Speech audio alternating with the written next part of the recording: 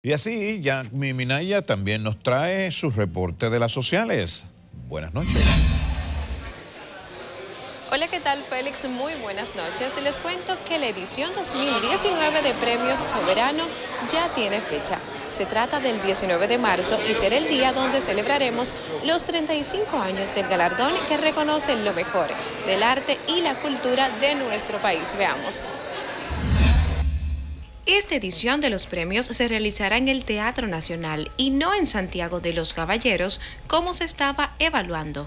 La solicitud había sido planteada por el alcalde de esa ciudad, Abel Martínez, con quien la directiva se reunió para conocer los pormenores de su idea. Asimismo, se reveló que Alberto Sayas y su equipo repiten la producción de los galardones. Por un lado estamos felices porque estamos anunciando que comenzamos los trabajos ya formalmente eh, de Premio Soberano, pero por otro lado hay un poquito de tristeza por el hecho de que albergamos la esperanza de poder llevarlo a Santiago, sobre todo con la disposición que ha tenido el alcalde Abel Martínez. Entendemos que hay que esperar un poquito más y que ojalá pueda ser en un futuro próximo, no muy lejano. Yo creo que no solo Santiago se merece premio soberano, sino todo el país. Y en enero ya tendremos la selección de los eh, nominados. Eh, tendremos la asamblea eh, primero de nominado y luego la selección. Más que todo comprometido, tanto en lo laboral, en lo profesional como en lo personal también, con que se me haya dado esta oportunidad nuevamente. Hay una premisa que sí o sí no deja de ser público, que es el tema de los 35 años del premio. Entonces, ¿por qué no celebrar eso? Pero también debo celebrar el año que pasó. Entonces, sé que en algún momento eh, el tema 35 años va a tener su, importancia dentro de la, de la ceremonia. Como productor me ha tocado ver todo, me ha tocado ver mucho teatro, mucho cine, mucha televisión, porque es lo que me, llena y me empapa de, lo que pueda pasar en escena este, este próximo año.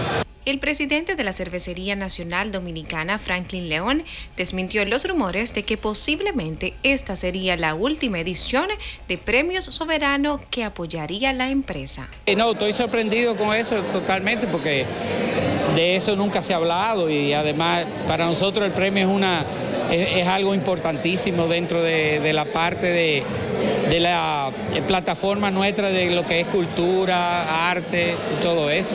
Y que el apoyo que nosotros hemos dado año tras año al premio, no solamente al premio, porque eh, eh, darle apoyo al, al premio significa apoyar todo lo que es el arte y la cultura de este país. La Junta Agroempresarial Dominicana realizó la edición 2018 de su concurso nacional de pintura agro y naturaleza.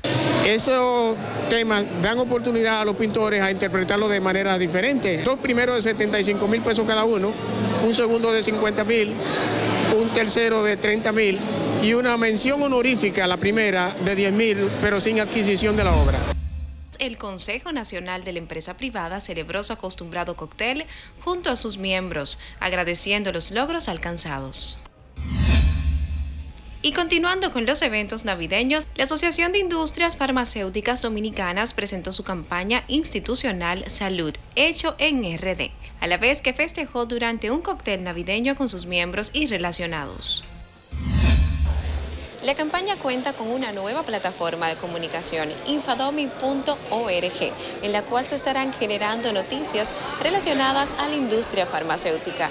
Estas son las informaciones de la noche. Yo vuelvo contigo, Félix, al set de noticias.